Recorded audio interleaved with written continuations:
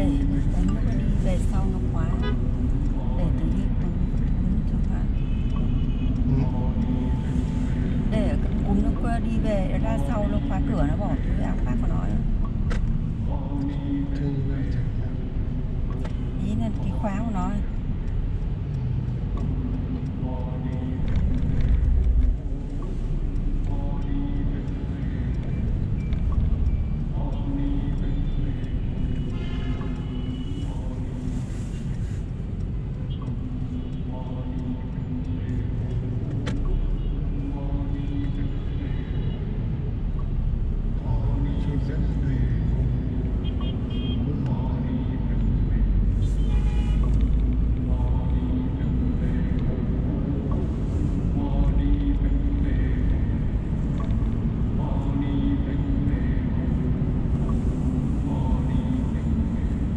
Tìm cái chìa khóa rồi.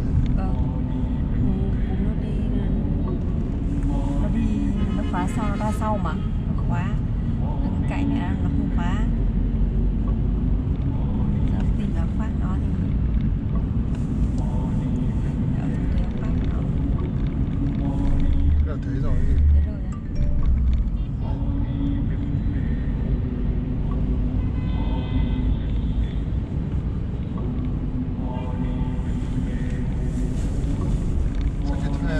没就